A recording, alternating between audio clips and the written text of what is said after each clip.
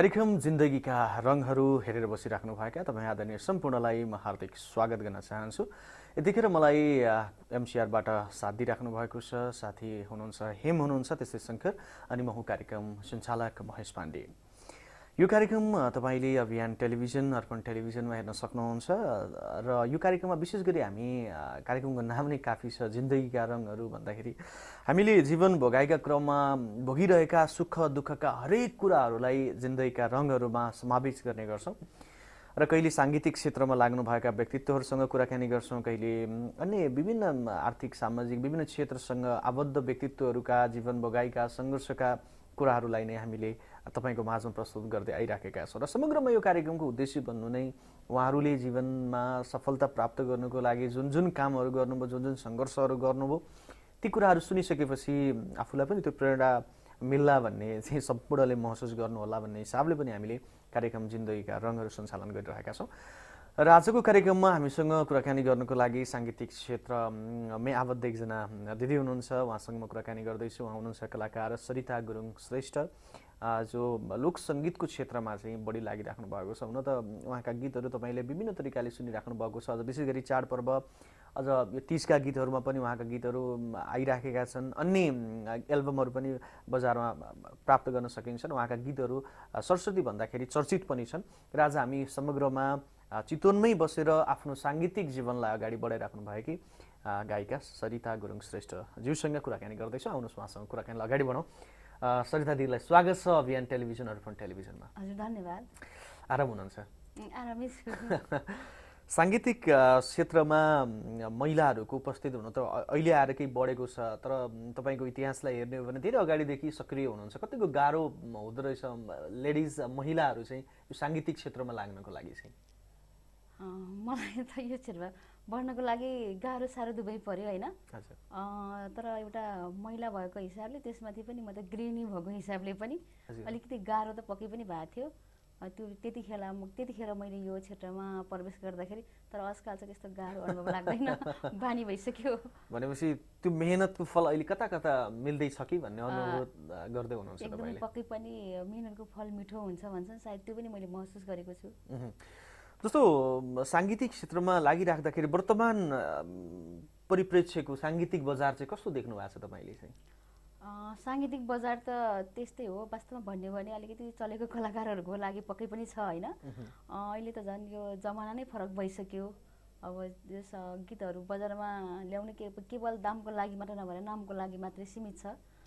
बजार त त्यस्तै हो अब अलिकति नाम पाउनको लागि कति धेरै पैसाहरू खर्च गरेर के फल्नाको पहिचान के हो त फल्ना गायिका गायक होइन? मलाई त मेरो विचारमा त्यस्तै लाग्छ। जस्तो चितवनमै बसेर चाहिँ साङ्गीतिक क्षेत्रमा लागिराख्दाखेरि कतिको गाह्रो परिरहेछ? त्यस्तो केही महसुस भएको छ तपाईँले अँ, मलाई त्यस्तो के गाह्रो भन्दा पनि म एउटा व्यावसायिक गायिका पनि अलिकति परिनँ होइन? त्यो हिसाबले पनि मैले गाह्रोको त अनुभव नै गर्दिनँ। अब वर्षमा एक दुईवटा रहरले निकाल्छु होइन। अनि त्यो त्यो हुनाले पनि अलिकति कस्तो कस्तो के? गाह्रो के हो साह्रो के हो? मलाई त थाहै नहुने। भनेपछि आफ्नो त्यो कला आफूसँग भएको कलालाई चाहिँ प्रस्तुत गरिराख्नु भएको हुन्छ। त्यो हिसाबले पनि चाहिँ त्यस्तो भन्न खोज्नु भयो कि के? त्यस्तै अब अब मैले गायलाई अब पेसा बनाएर मतलब यही क्षेत्रमा लागेको भए पो। मलाई गाह्रोको अनुभव हुन्थ्यो होइन। अब रहरले गाउने गाए पनि ठिकै छ। नगाए पनि ठिकै छ। त्यो हिसाबले चाहिँ अलिकति के हो के के मलाई त गाउन त रहर मात्रै के। जस्तो भनौँ न अब अहिले जे भए पनि तपाईँले गीत सङ्गीतहरू निकालिराख्दाखेरि लगानीका कुराहरू हुन्छन् त्यहाँ पनि गीत रेकर्ड गर्दा स्टुडियो चार्जका कुराहरू छन् त्यहाँ इन्स्ट्रुमेन्टका कुराहरू छन् धेरै प्रयोग हुन्छ खर्च हुन्छ। म्युजिक भिडियो बनाउनु पर्ने बाध्यता पनि छ। अब सबै खर्चहरू छ तर त्यो उठ्ने स्थिति छैन। यो यस्तो स्थितिमा पनि साङ्गीतिक क्षेत्रमा लागिराख्नु भएको छ। के लाग्छ यो विषयमा के भन्नुहुन्छ तपाईँ? म यो यो विषयमा चाहिँ के भन्छु भने पक्कै पनि अब अलिकति चलेको कलाकारहरू त अब स्टेज प्रोग्रामहरू गरेर त आफ्नो पैसा कमाएर आफ्नो खर्च उठाउँछन् होइन। अब हामी त के भन्ने के? अब आफूसँग पैसा छ भने चाहिँ गर्ने हो पैसा छैन भने चाहिँ यत्तिकै बस्ने हो होइन? त्यो हिसाबले पनि अब वर्षमा एक दुईवटा नभए त तन्न निकालिन्थ्यो होला होइन? अनि त्यो भएको हुनाले कस्तो लाग्ने भने अब एउटा रहर हो गरिहालौँ। जो मलाई यो क्षेत्रमा आउनको लागि कस्तो लाग्छ नि तन्न पैसा भएको व्यक्ति चाहिँ आउँदा हुन्छ होइन? अब पैसा छैन भने त त्यस्तै हो। आफ्नो रहर रहरै सीमित रहन्छ जस्तो लाग्छ मलाई चाहिँ। किन के कारणले गर्दा यस्तो भयो होला दिदी? तपाईँले कहिलेकाहीँ सोच्नुहुन्छ होला नि हो साङ्गीतिक क्षेत्रमा आफ्नोसँग कला छ गला छ तर पनि आम्दानी गर्ने एउटा वातावरण बनिरहेको छैन। त्यो चाहिँ मलाई कस्तो लाग्छ भने त्यस्तै हो कि अब बोल्नेको पिठो बिग्छ होइन? नबोल्नेको चामल पनि बिग्दैन भन्छन्। त्यस्तै हो। आफूसँग तन्न कला गला खुबी भएर पनि के गर्ने? उसले आफ्नो कला गला प्रस्तुत गर्न पाउँदैन। अब यो सबै ठुला ठुला भन्छ नि हाली मवाली भन्छन् नि मलाई त्यस्तो हो जस्तो लाग्छ है। अलिकति यो क्षेत्रमा म पनि आबद्ध भएँ अलिकति मैले पनि बुझ्ने मौका पाएँ। अब फेरि यस्तो कस्तो हुँदो रहेछ भने अब कलाकारहरू हुनको लागि त काठमाडौँ बस्नुपर्ने रहेछ। होइन? अब हामी यहाँ बस्छौँ हामीलाई खोजनीति नै हुँदैन कि। छ अरे भन्ने हुन्छ कसैले पत्तो पनि पाउँदैन किन? अब सानो लेभलबाट आएको कलाकार पनि अब काठमाडौँमा बसेको छ भने ऊ कहाँ कहाँ पुगेको हुन्छ कि? मैले पनि अनुभव गरेको छु। मसँगै गीतहरू सिकेका व्यक्तिहरू अहिले कहाँ देश विदेश घुमिराखेको छ। है हामी पनि यहीँ छौँ। भनेपछि अझै पनि कलाकारिता राजनीतिक मतलब राजधानी केन्द्रित चाहिँ छ। त्यस्तो छ जस्तो मलाई लाग्छ पक्कै पनि हो कि? उनीहरू कति चर्चामा आउने कति दुनियाँले चिन्ने तर हामी त यहीँ छौँ। आफूलाई चाहिँ आफ्नो गाउँ जन्म के अरे मतलब बसेको ठाउँ छोड्न मन लाग्दैन। चितवन प्यारो लाग्छ। म दिदीलाई अब थोरै तपाईँको जन्मस्थान जन्म ठाउँतर्फ लाँदैछु र बाल्यकालदेखि नै सुरुवात गर्छु किनकि यो वर्तमानसम्म आइपुग्दाका कुराहरू धेरै बाँकी छन् आजको कार्यक्रममा कुराकानी गर्नको लागि। तपाईँ बागलुङ जिल्ला अमरा भूमि गाविस बुस्काटमा जन्मिनु भएको एकजना छोरी होइन? आज यो साङ्गीतिक क्षेत्रमा आइपुग्नु भएको छ। त्यो ठाउँमा बाल्यकाल चाहिँ कस्तो कसरी बित्यो तपाईँको त्यो सुनाउनुहोस् न। मलाई अचम्म लाग्छ होइन? बाल्यकाल अलिकति मैले त्यहाँ केही थाहा पाउँछु बाल्यकालहरू त्यहाँ बिताएको क्षणहरू।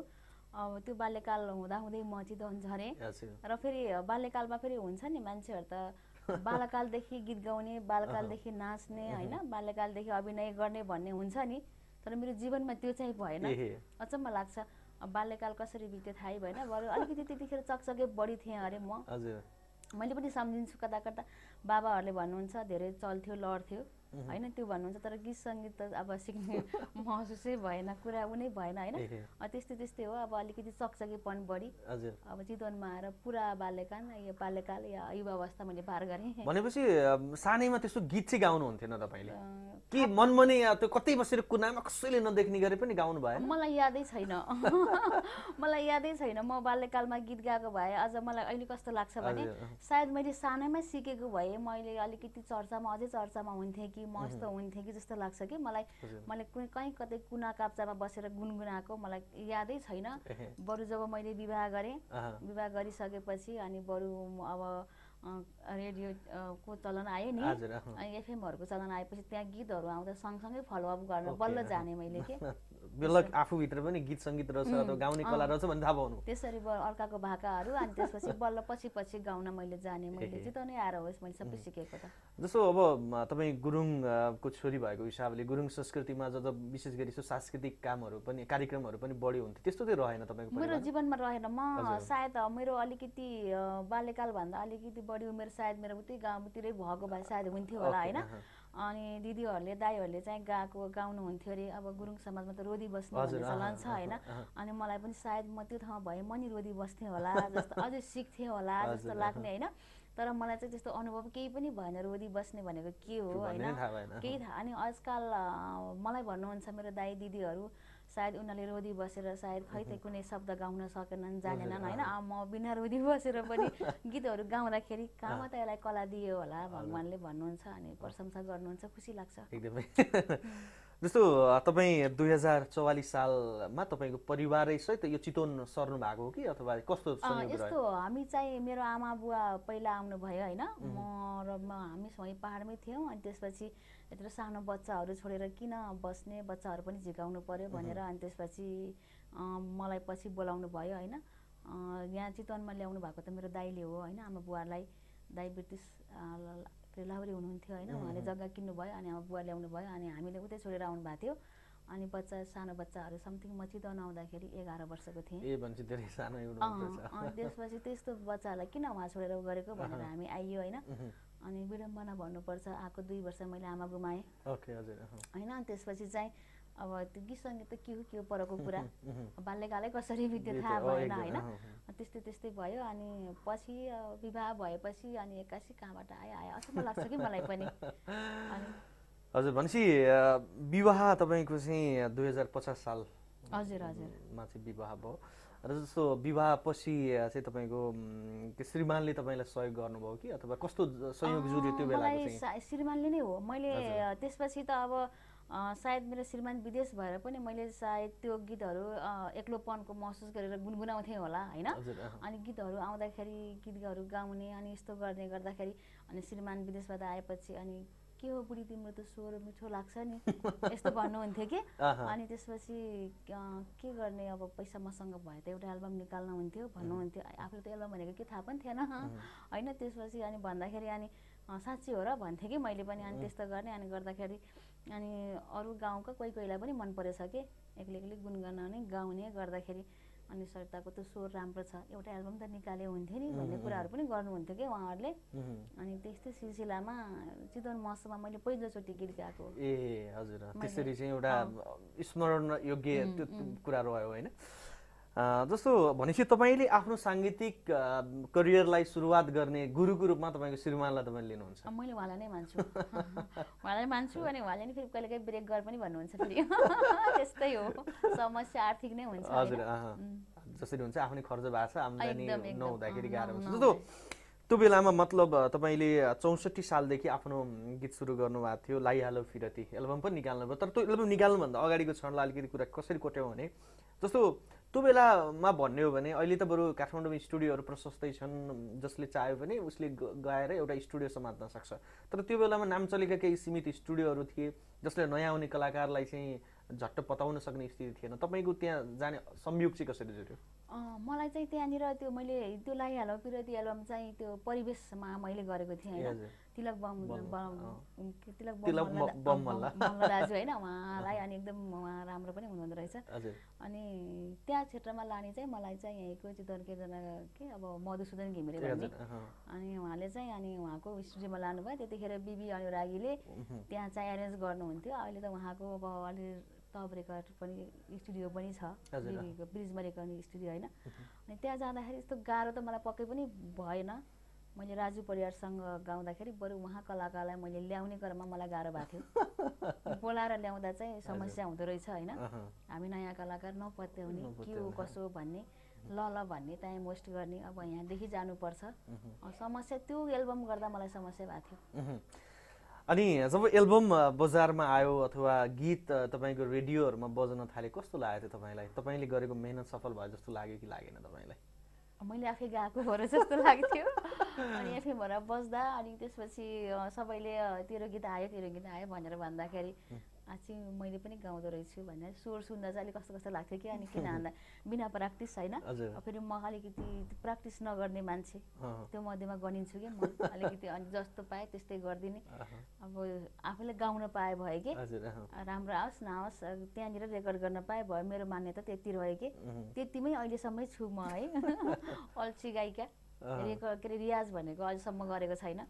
जस्तो आउँछ त्यस्तै अनि अनि खुसी लाग्यो अनि सबैले हो तेरो स्वर आयो भन्ने अनि जहाँ पनि बस्ने एकदम खुसी लाग्यो। यस्तो इन्टरभ्यू दिन हिँड्ने अनि सुरु सुरुमा त अलिक अप्ठ्यारो लाग्थ्यो होइन? अनि एकदम खुसी लाग्यो। अनि त्यसपछि त्यो भइसकेपछि लगभग अनि रहर पुग्यो। भयो भन्नुभयो क्या श्रीमानले। अनि त्यही त हो नि होइन? अब कि गायकलाई के अरे मतलब गायकीलाई पेसा बनाएको भए पो ल यस्तै भन्ने हुन्थ्यो। अहिले त फेरि विवाहिता महिला बालबच्चा छन्। घर पनि हेर्नुपर्ने सबै गर्नुपर्ने। तिम्रो रहर हो रहर पुग्यो भइहाल्यो भन्नुभएको थियो। अनि त्यसपछि म लगभग पाँच वर्ष त ग्यापमै बसेँ। एउटा एल्बम निकालेर। एल्बम निकाले। त्यसपछि जस्तो अब पछिल्लो समय तपाईँका गीतहरू प्रायः जस्तो तिजका गीतहरू हामीले सुन्ने मौका पनि पायौँ चले पनि। कसो गरम चमेली होइन? अनि त्यसपछि पानी पर्यो दर्केर मलाई त कति मजा भयो। धेरै गीतहरू एकदमै राम्रो पनि बन्यो उत्कृष्ट पनि भयो राम्रो गायकहरूसँग तपाईँले गाउने अवसर पनि मिल्यो अथवा त्यो गीतहरू हिट पनि भयो खासमा अब तपाईँले एउटा एल्बम निकालेको पाँच वर्ष बिचमा ग्याप भएर फेरि अर्को एल्बममा अथवा गीतमा गइराख्दाखेरि त्यो संयोग कसरी? अब अब चाहिँ किन चाहिँ फेरि गाउँछु भन्ने लाग्यो त मलाई चाहिँ यस्तो भयो होइन? अनि त्यसपछि श्रीमानले भयो भन्नुभयो अब नगाउने। अनि त्यसपछि गाउँमा पनि भन्न थालेँ "ए, सरिताको श्रीमानले त गाउन दिएन अरे।" हजुर। अब भयो अब ला सरिताको गीत सुन्न नपाउने भयो त्यति नै सीमित हो भन्न थालेँ होइन। अनि मैले गीतहरू चाहिँ अब भनिहालेँ नि मैले अर्को भाका गाउँथेँ कि। बढी तिजको गाउँथेँ नि भजन गाउँथेँ कि मैले लोक लोकगीतहरू भन्दा पनि। अनि त्यो हिसाबले अनि तिजको गीत गाउने अब स्टेजहरूमा जाने मलाई याद पनि छ सायद भाइलाई याद छ कि छैन त्रिवेणी एफएममा आउँदाखेरि मेरो एल्बम थिएन। मैले त्यहाँ गाउने बेलामा कि।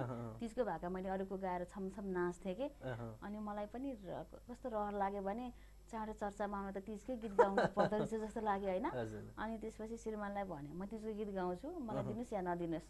भने क्या मैले उहाँलाई भने अनि त्यसपछि अब अलिकति म त अलिक जिद्दी स्वभावकै होइन?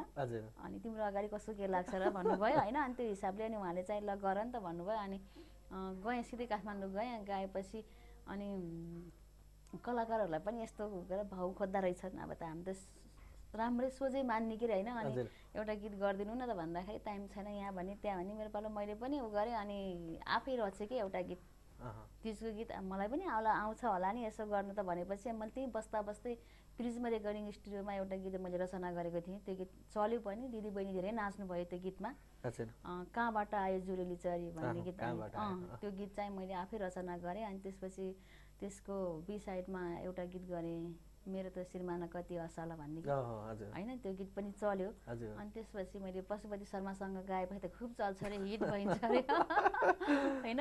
त्यो हिसाबले अनि चाहिँ उहाँलाई समातेर कसो गरौँ। चमेली सायद त्यो चल्यो पनि। त्यसरी अनि हजुर। दिँदै गएको हजुर। जस्तो अहिले आजकल हामीले सरस्वती हेरिराख्दाखेरि जब तिज आउँछ मैले चितवनको परिवेशलाई मात्र जोड्न खोजिरहेको छु अन्य परिवेशलाई अहिले नजोडौँ।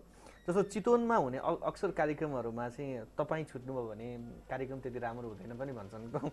यो कुरा चाहिँ कतिको हो जस्तो लाग्छ? तपाईँ आफैलाई चाहिँ के भन्नुहुन्छ भाग्यमानी महसुस गर्छु। अनि केन्द्रबाट कलाकारहरूले चितवनमा अरूलाई छिर्न दिने होइन पनि भन्नुहुन्छ है। अनि खुसी लाग्छ कि रहेछु भने जस्तो लाग्छ। कि होइन। के हो एक छत्र राज गर्ने अरू कलाकारलाई त एलाउड छैन अरे नि त सरकारले भनेर भन्नुहुन्थ्यो। अनि चाहिँ बा चितवनमा मैले आफ्नो स्थान बनाएको रहेछु भनेर खुसी लाग्छ। जस्तो तपाईँले यो तिजका गीतहरू गरिराख्दाखेरि प्रायः जसो गीतहरू तपाईँले चितवनमै छायाङ्कन पनि गर्नुभएको छ जस्तो लाग्छ मलाई यो गीतहरूका भिडियोहरू हेर्दाखेरि होइन? किन अन्य जिल्लामा पनि जान सक्नुहुन्थ्यो? चितवनकै गायिका भएको हिसाबले मात्र गायिका भएको फाइदा पनि खोज्नु पर्यो नि। अलिकति कसरी चल्ने त? हजुर। होइन? अब म चलेँ कि वास्तवमा त्यसरी हो कि? अब दिदी बहिनीलाई अगाडि मिडियामा देखिनु पनि त अब उनीहरूको पनि भाग्यको कुरा हो नि त होइन? अब यहाँदेखि उनीहरूका कतिलाई देखिन मन लाग्छ? कतिको माया पाएको छु मैले होइन? मैले सायद सायद मैले अहिले अहिलेसम्म म चलिरहेको कारण पनि सायद त्यही हिसाबले हो म होइन? उहाँहरूलाई देखाउँछु अनि उनीहरूले आफ्नो अनुहार हेर्नको लागि एक त सिडी त किन्नुहुन्छ। होइन? अनि सिडी लिइदिनुहोस् भन्यो। एक काम दोपन भन्छन् नि। त्यस्तै कि अब फाइदा के? बाठो भनेको वास्तवमा के होइन? कसरी चल्ने? लगानी त छ नि आफ्नो लगानी होइन? त छ आफ्नो होइन। अनि उहाँलाई एक दुईवटा लिइदिनुहोस् यस्तो गरिदिनुहोस् भन्ने। अनि उनीहरू पनि आफ्नो अनुहार देख्छन् हेर्छन्। मलाई सहयोग पनि गर्छन् सबैले। धेरै भूमिका बस्यो भने धेरै पैसा नि लगानी गर्छन् होइन? अलिअलि। अनि कहिले त भन्छन् कि थोरै देखेछु थोरै दिन्छु भन्छन् कि। अनि त्यो हिसाबले फेरि मलाई चाहिँ किन भन्दा त्यो काठमाडौँको को महिला दिदीबहिनी मेरो सिधी किनिदिनुहोस् भन्न जान त मलाई मिलेन नि त। बरु यहीँको दिदीबहिनीलाई लगेर त उनीहरूले पनि मख मलाई पनि फाइदा। हजुर। बाठो भनेको त्यो चाहिँ। भनेपछि सम्बन्धको कारणले गर्दा मात्र चाहिँ तपाईँलाई भनौँ आफूले त्यो फाइदा पनि हेर्नुपर्ने स्थिति रह्यो। किनकि यो बाध्यता पनि हो व्यवस्था पनि हो। यो स्थिति पनि राखेका छौँ। आदरणीय दर्शकबिन आज हामीले कुराकानी गरिरहेका छौँ। कार्यक्रम जिन्दगीका रङहरूमा गायिका हुनुहुन्छ सरिता गुरुङ श्रेष्ठ जो चितवनबाटै आफ्नो यो साङ्गीतिक क्षेत्रलाई अगाडि बढाइराख्नु भएको छ। यो हामी आफैका लागि पनि एउटा गर्वको कुरा पनि खुसीको कुरा पनि। धेरै कलाकारहरू चितवनबाट राष्ट्रिय स्तरमा निकै चर्चित पनि हुनुहुन्छ। र उहाँका जिन्दगीका भोगाइहरू अब यो साङ्गीतिक सङ्घर्षका कथा व्यथाहरूलाई नै रमाइला रमाइला सबै खाले कुराहरूलाई नै हामीले यहाँ प्रसङ्ग उठाइरहेका छौँ जोडिरहेका छौँ। फेरि पनि म कुराकानीको क्रमलाई अगाडि नै बढाउँछु जस्तो तिजका गीतहरू मात्र बजारमा ल्याएर भनौँ न एउटा सिजन हुन्छ जस्तो त्यसको पनि एक दुई महिनाको टाइम हुन्छ त्यसपछि फेरि त ग्याप गर्नुपर्ने स्थिति हुन सक्ला यो विषयमा चाहिँ सोच्नु भएको छ कि छैन अथवा होइन तिज चाहिँ छुटाउँदिनँ अन्य पनि निकाल्छु के छ सोच। होइन मैले त्यही सोचेर अनि म त गाउन त मैले तिजको भन्दा दोहोरी पनि गाउँछु होइन। अनि दोहोरी गाउने अनि त्यही मलाई घाटा पऱ्यो क्या अलिकति। सरिताले तिजको मात्रै गाउँछ। अनि अब तिज त एक झड्के पानी जस्तो हो। उडेर आउँछ जान्छ होइन? अनि त्यसपछि अरू सदाबहार गीतहरू गायो भने त अरू गाउने कहीँ प्रोग्रामहरू गर्दा पनि तिजको मात्र गाउने गायिका हो भन्ने नबोलाउने कि। अनि हामीलाई त अनि कस्तो दुःख लाग्ने नि त होइन? अनि त्यो हिसाबले चाहिँ अब निरन्तरता दिनुपर्छ भनेर एउटा गीत चाहिँ गाएको थिएँ कि मैले। छड्के नजर अनि सररा हो भने। अनि त्यसले चाहिँ अलिकति प्लस पोइन्ट गऱ्यो अहिलेसम्म टिकाएको छ है। अहिले सोच बनाएको छु अब केही अहिले केही वर्ष प पछाडिदेखि अरू पनि गर्नुपर्ने रहेछ नि। बर्खा हालसालै लगभग अस्ति मात्र एउटा गीत रेकर्ड गरेर आएको छु। मिलन लामाजीसँग। उहाँकै शब्द लयमा। अब चाहिँ लोकगीतलाई पनि निरन्तरता दिन्छु जस्तो लागेको छ त्यो तुक्का अहिले सुन्न मिल्छ कि? के मिल्छ भने प्लिज हामीले किन भन्दा यो पहिलोपटक हुनसक्छ कि? अ, एकदम एकदम हो। अनि सोच गरेको दसैँपछि बजारमा ल्याउला सायद सम्भव पक्कै पनि भएन। अब तिहारपछि पक्कै पनि हुन्छ। मिलनजीलाई पनि यही भन्न चाहन्छु म होइन। यो चाहिँ अलिकति उहाँको शब्द लयमा जस राम्रो छ मन पराउनुहुन्छ जस्तो लाग्छ। मलाई। यो मायाको मन कस्तो छ आँखैले देख्दैन। यो मायाको मन कस्तो छ आँखैले देख्दैन। मनको तस्बिर खिच्न सक्ने क्यामेरा छैन? है डम डम है डम डम है डम डम गर्ने डमरुको राजै कम्मर छिनेको। बल्ल बल्ल मान्छे चिने मन त छैन चिनेको। यो मायाको मन कस्तो छ खैले देख्दैन। मनको तस्बिर खिच्न सक्ने क्यामेरा छैन। है डम डम है डम डम है डम डम गर्ने डमरुको राजै कम्मर छिनेको। बल्ल बल्ल मान्छे चिने मन त छैन चिनेको। बल्ल बल्ल मान्छे चिने मन त छैन चिनेको। उहाँले भन्नुभएको थियो कि अनि मान्छेको। आत्म तस्बिर खिच्न सक्ने क्यामेरै छैन अरे कि मनभित्र के छ के छ अरे। अनि एकदमै मन पर्यो उहाँले भनेको शब्दहरू पनि आफैले शब्द लेख्नु होइन उहाँले लेख्नु भएको अनि यस्तो चाहिँ अहिलेसम्म कसैले पनि गरेको छैन यस्तो खाले गरौँ भनेर भन्नुभयो होइन। अनि मलाई नि मन पर्यो अनि त्यसपछि रेकर्ड गऱ्यौँ भनेपछि हामीले अब छिट्टै नै सुन्न पाउनुहुन्छ। पाउँछौँ सुन्न हेर्न पाउनुहुन्छ। एकदमै। जस्तो अब तपाईँ यतिका विधि गीत सङ्गीतहरू बजारमा ल्याइराख्दा अथवा गाइराख्दाखेरि चाहिँ अहिलेसम्म बुझेको कुरा चाहिँ कस्ता गीतहरूलाई चाहिँ बढी श्रोता दर्शकले चाहिँ मन पराउनु हुँदो रहेछ भन्ने निष्कर्षमा तपाईँ पुग्नु भएको छ त? म त श्रोताहरू दुई थरी भन्छु मेरो श्रोताहरू त मेरो गीत मन पराउने श्रोताहरू त त्यस्तै खाले हुनुहुन्छ होइन? मैले प्रायः त्यस्तै गीतहरू निकाल्छु बजारमा। अब श्रोता दर्शकको कुरा गर्ने हो भने त हामी जुन जुन चिजलाई छि भन्छौँ त्यो चिजलाई बढी हेर्छौँ। होइन। त्यस त्यस हिसाबले म त गीतको बारेमा त केही बुझ्नै सक्दिनँ। जस्तो स्टेज कतिपय कस्तो तपाईँले दर्शकका कुराहरू गरिराख्दा कतिपय दर्शक एकदम स्लो टाइपका गीतहरू मन पराउने कतिपय एकदम फास्ट टाइपका गीतहरू मन पराउने तर कलाकारलाई फाइदा चाहिँ कुन गीत निकाल्दाखेरि? कलाकारलाई फाइदा चाहिँ फास्ट खालकै हुन्छ स्टेजको लागि होइन।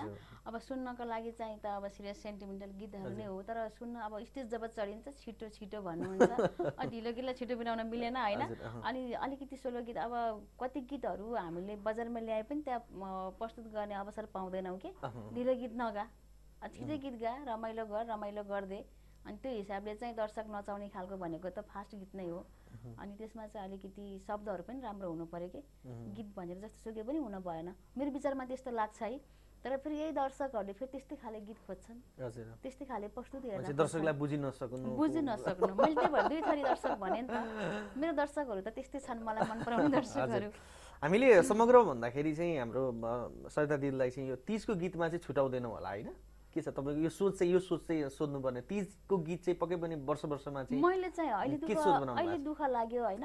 यो वर्ष चाहिँ म चाहिँ अत्यन्तै मैले त्यो ल मसँग आर्थिक भएर नभएर पनि मैले निकाल्न न- न- ननिकालेको होइन।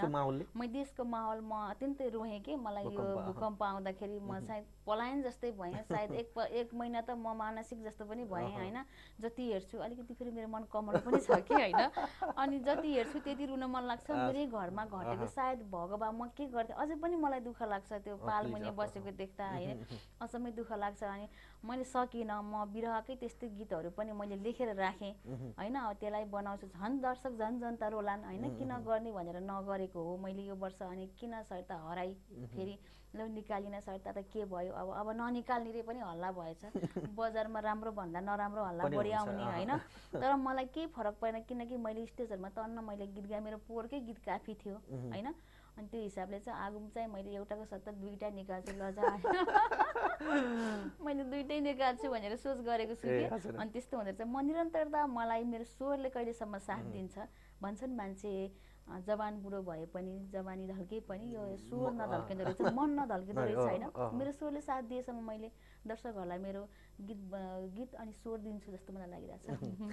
तर हामीले समग्रमा बुझ्दाखेरि चाहिँ भनौँ न अघिल्लो सालमा आयो अथवा यो वर्ष आएन भन्ने किसिमको भान चाहिँ पक्कै पनि भएन जस्तो नै लाग्यो। मलाई पनि त्यस्तै लाग्यो। म स्टेजहरूमा ठाउँ ठाउँमा गएँ होइन।